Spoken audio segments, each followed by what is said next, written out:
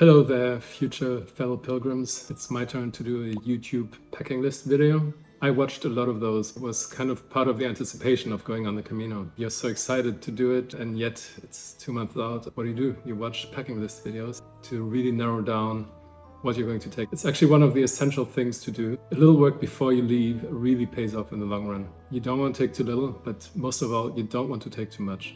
Take less than you think you should. If there's something you're missing, you can always buy it there. And there's shops, there's larger cities that you hit every couple of days. It's really not a problem. It's Spain, it's a civilized country, you can get anything you need. This little video is just a guide, my idea of what I would take and what I did take. Um, you might have a different idea, let me know in the comments uh, if I forgot something or if you think uh, it's too much still. At the end of the video, I will also mention the items that I could still leave out. Although this is the just right packing list, I think it could be optimized even more. Let's first dive into what I will be taking. First of all, the backpack. That's of course one of the two most important items. To tell you the truth, I would not watch YouTube for backpack reviews because there's no point. You have to go to a store. You need a professional to show you what backpack fits your body because everybody is a little different and I'm quite tall so the ospreys just wouldn't fit me. You know, I have a long back, but I need a professional to to show me uh, what would fit better. So I really advise to go to a store, try them on, try them on with weights, don't rely on a good YouTube review because it might not fit your body, even if for the reviewer it might fit very well, but it might not be the case for you. So I got a 35 liter backpack by Fjällräven. Um, it worked really well, and um, but there are other backpacks that work really well. I think what's more important is the size, and my backpack is a 35 liter one. I think that's kind of the sweet spot you can fit what you need, but you don't carry extra weight with you. And it also forces a little bit of discipline on you. As I say, 10% of your body weight. My backpack weighed uh, 8.5 kilos, so you do the math. I wouldn't get a water bladder for your backpack. Some backpacks offer that.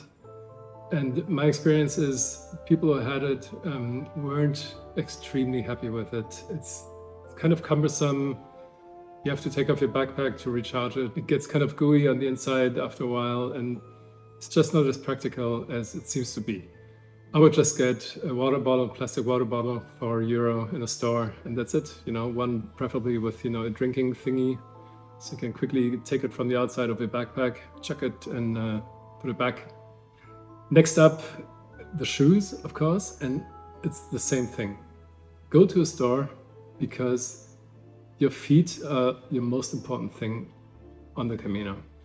They will carry you to Santiago and further, and um, you want to take good care of them. And you can't buy shoes for a thousand kilometer trek on the internet. Theoretically, you can, but you need to try them on first. And also, you need a professional to show you what really fits for me, it was really interesting. I went to a long distance running store in Berlin. It's actually called Long Distance. And um, I said, hey guys, I want to walk the Camino. What do you got? And uh, first of all, they said, why are your shoes too small, the ones I was wearing? And um,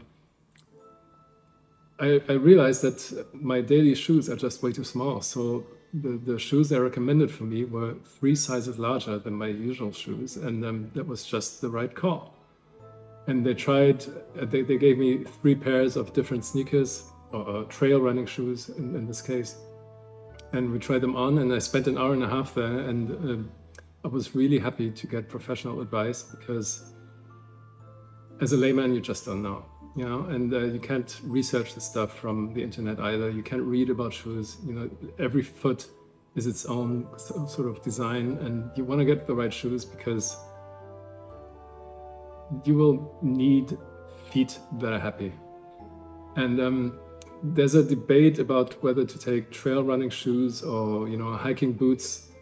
My advice is really go for the trail runners because they're super comfortable, they're airy, because they, they can breathe, it also means that you will not get blisters or you're less likely to get blisters because blisters come from friction and water in, in your shoes. So those trail runners are much less likely to, to have that problem.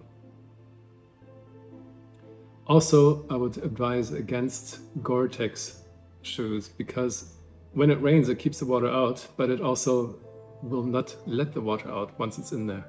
So, you know, if you get wet, you get wet. What are you going to do? In general, the people I've met who had trail runners were quite happy with them. And uh, in my case, I had Hokas. And uh, the picture you see, that's after one Camino. So, I mean, they look in pretty good shape after almost a thousand kilometers. I used them again on my second Camino and they worked fine. So, you know, it's uh, good shoes do make the difference. You also want to get some sandals or flip-flops. Um, I got these pool sliders. They're very nice, they're very comfortable. It's like walking on air a little bit. Uh, the disadvantage is they're a bit bulky and um, they kind of take up a lot of space in the backpack. It's kind of a luxury to have them, but you do want shoes to walk around in when you're at your destination. Next up is a waist bag or fanny pack, or like my Irish friends said, a bum bag. Um, you need a bag that's easily accessible so you don't have to take off your backpack, you know, when you want to get out your credentials or your camera or whatever, your money, your cookies. Um, so it's one thing I actually changed from last year because on my first Camino I had a small waist bag and it was a bit too small. It was like one liter and a half or something. This year I got a larger one, a five liter one. And in the beginning I thought maybe that's a bit large, but I was very happy to have five liters extra storage right in front of me.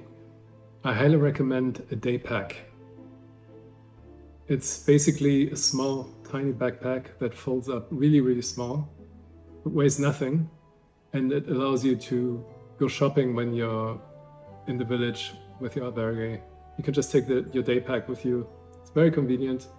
When, for instance, it's a very rainy day and you want to use Camino Logistics to have your backpack sent ahead of you to the next destination to keep your, your backpack dry. Sometimes that's a good idea. Or because it's too heavy, whatever. You can just take a day pack. The most important items, you just throw them in there. Whether you're taking a sleeping bag, it really depends on whether you're staying in albergues or hostels. If you're mostly staying in albergues, I would definitely take one because it will be sort of a bed away from home. It's your own little thing. It's, it's cozy. And also, of course, it's warmer because you don't know how cold it's going to be. May and June can still get chilly at night, especially up in the mountains, or you know, even the first night in Roncesvalles. Um, it's an old monastery, so I took it. I didn't use it much because this year actually I stayed mostly in hostels where I shared, you know, a room with three or four friends, and they just had regular beds. So I was happy to have it, but you could also probably just make do with a liner or two. Just take two small liners, and um, if you use hostels or Airbnbs a lot, you're fine.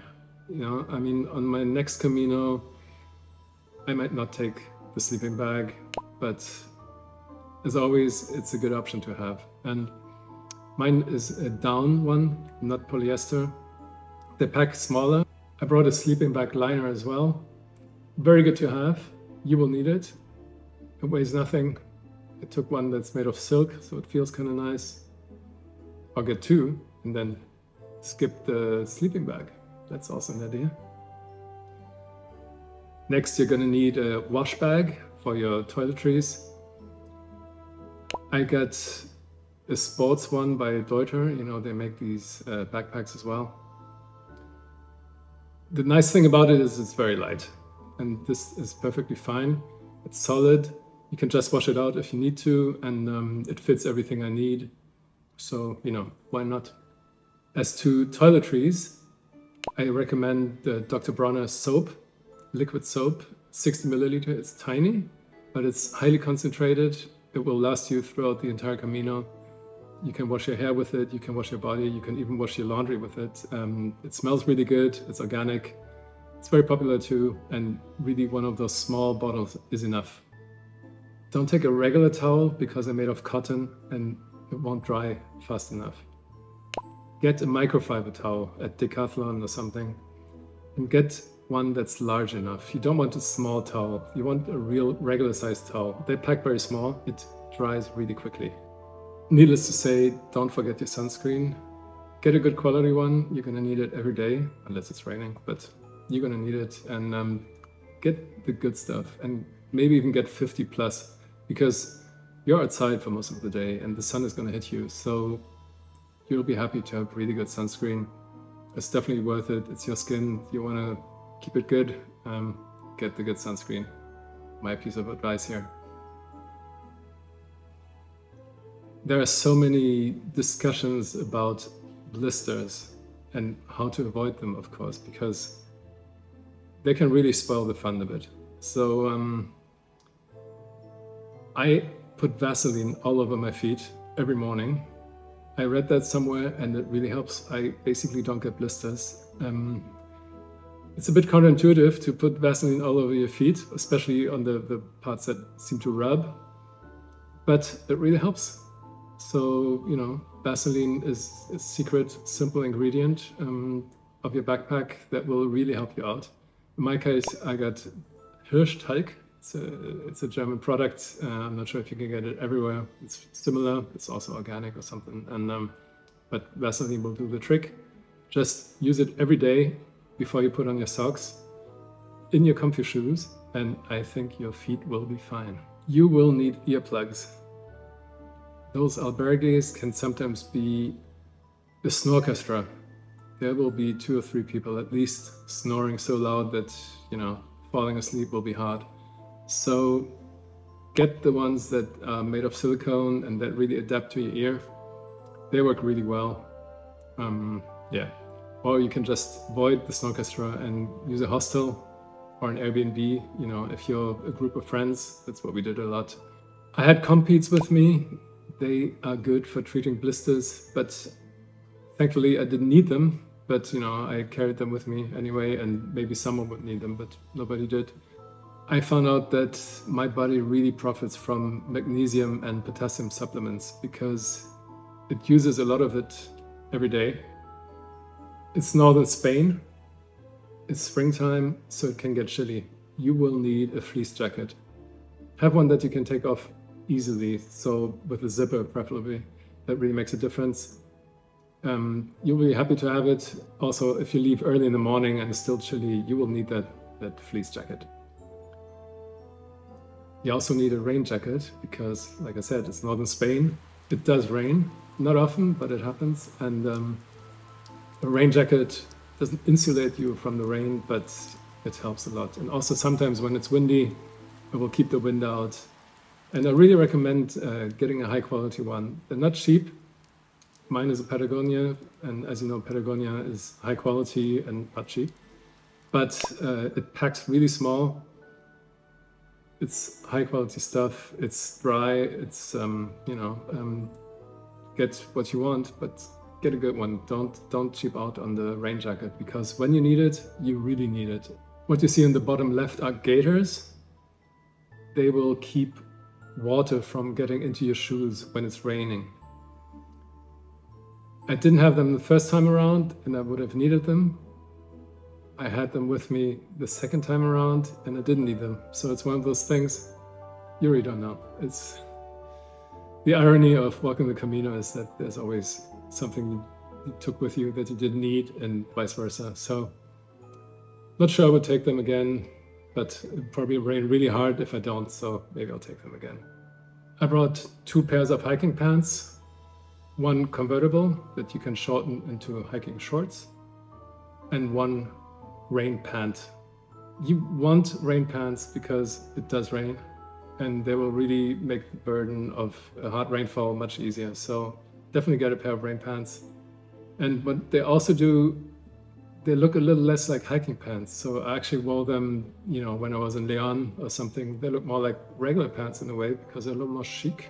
And of course, two pairs of hiking shorts. Those are the ones I use the most because most of the time the weather's good. And even if it isn't, you can still wear shorts. Um, yes, they weren't even hiking shorts per se, but sports shorts. They're made for movement. That's what you need. And you want them with a pocket so you can put stuff in there. On my first Camino, I had a mix of synthetic and merino wool. And although merino wool feels nice, synthetic does too. I really don't think there's much of a difference. And synthetic has a huge advantage. It dries much faster. That's both for when you're wearing it and also when you're drying it. You don't want to watch laundry dry when you're, you know, arrived at your destination. So I went full synthetic this year. So throughout my entire laundry list here, um, it will always be synthetic. So I had um, three synthetic t-shirts, one of them long sleeve. It's good for either cold or the punishing sun. Three pairs of synthetic underwear and three pairs of synthetic socks. They're these hiking socks that sort of compress your feet a little bit. I'm not sure what they do, but they really work really well. You know, they were comfy, I had no blisters, they, they dry fast. You really want stuff that dries fast. You need a hat, obviously. Last year I had one of those big Camino pilgrim hats.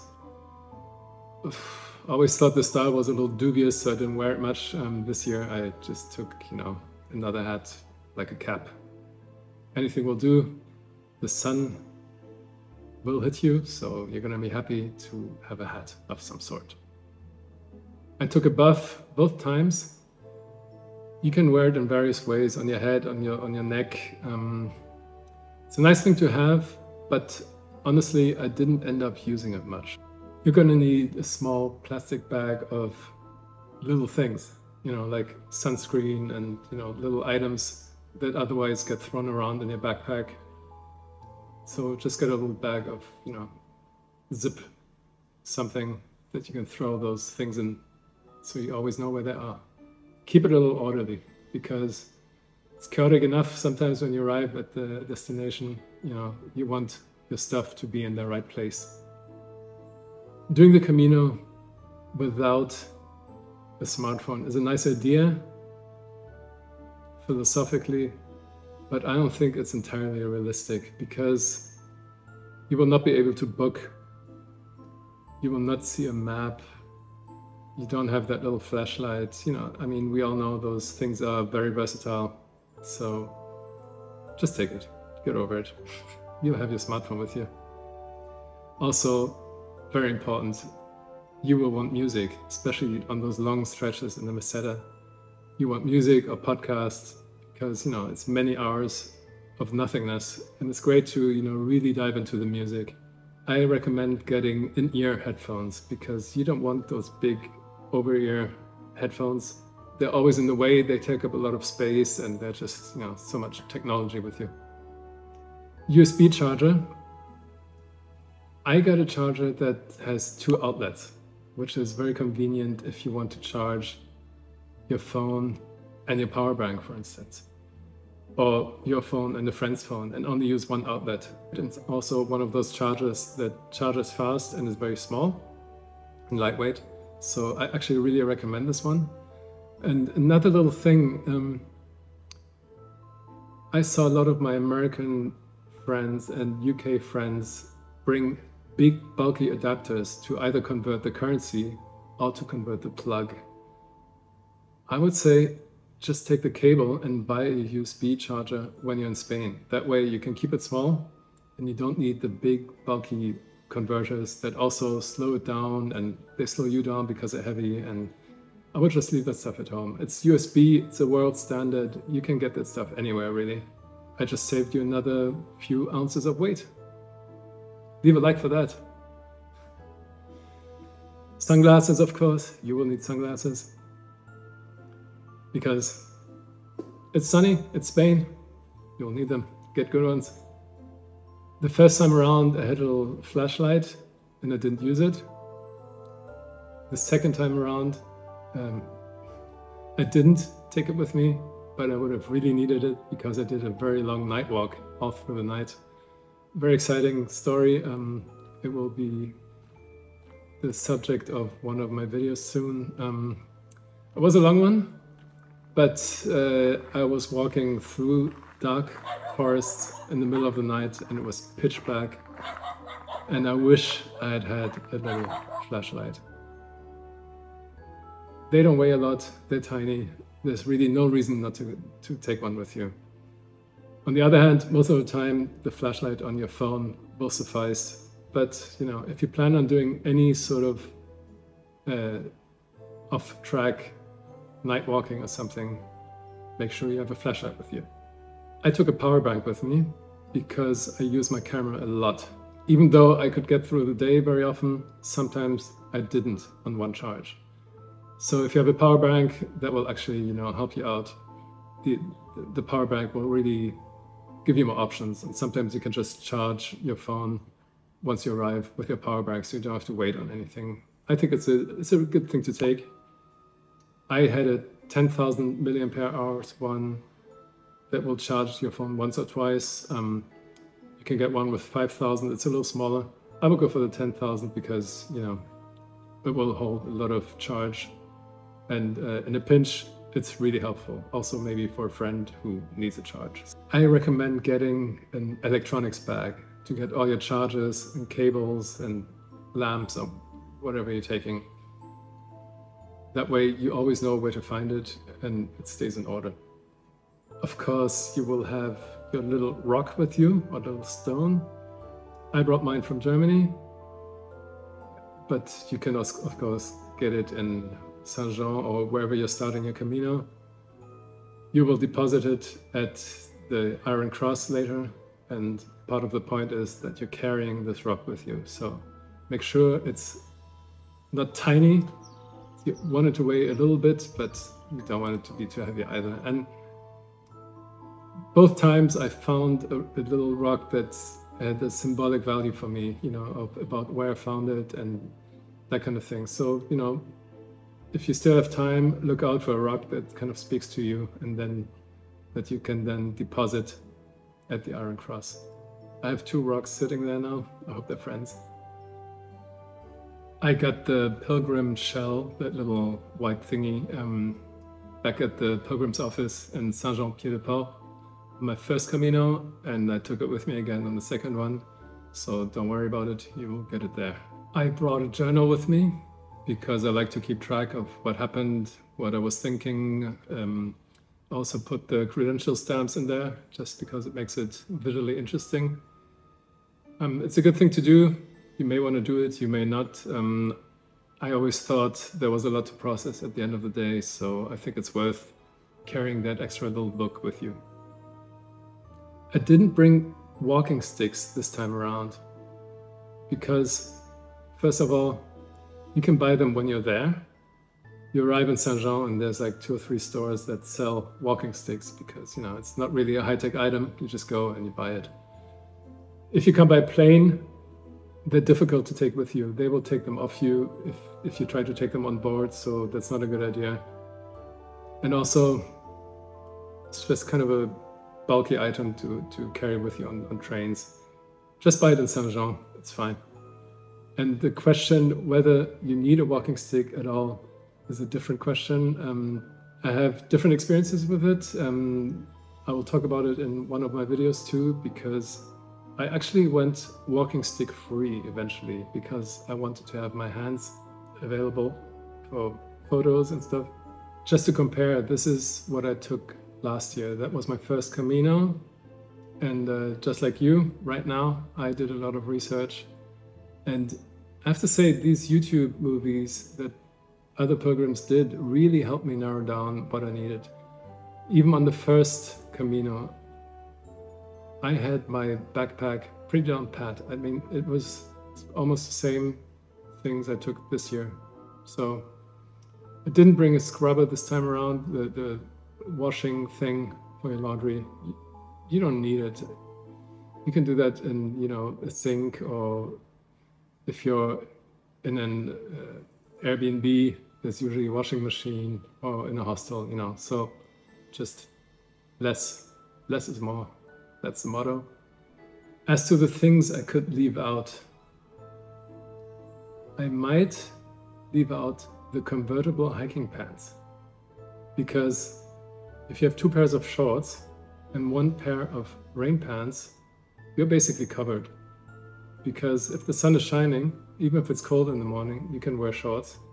Or if it's too cold, you just wear your rain pants. So the convertible hiking pants are actually a little bulky and they, they also have a weight that's not totally inconsiderable.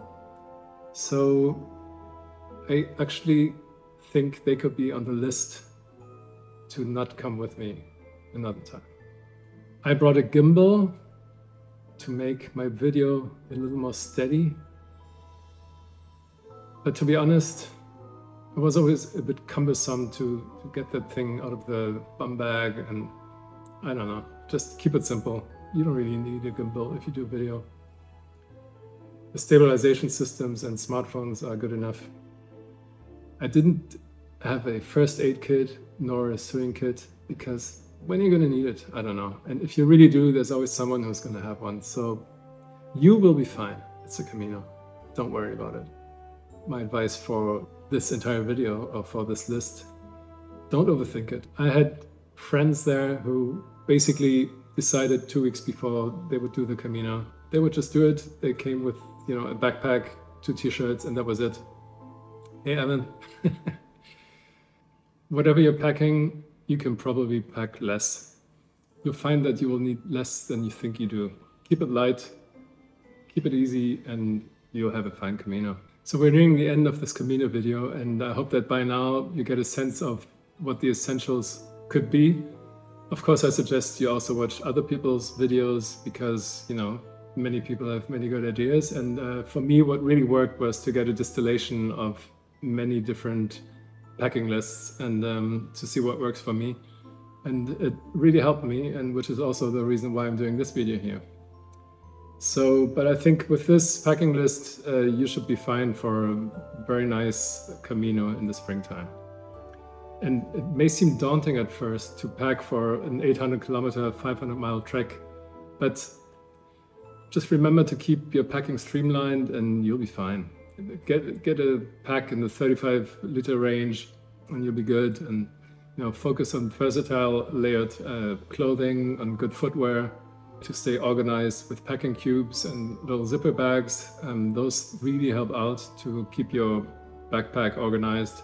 The Camino has a way of teaching us to let go of material things and to enjoy simple living. And that's really one of the main learnings on uh, the Camino, I think. So you might as well start while you're packing. It's been walked for thousands of years and things will just fall into place. Just start walking. That's the most important thing.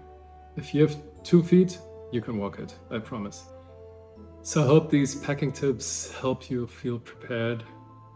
But remember, the Camino provides what you need when you need it. Just trust the process, trust life, trust the Camino. It will all work out. The most important thing is to walk the Camino at your own pace and let the Camino work its magic. Many have done so before and will probably be the same for you. So buen Camino and see you on the trail.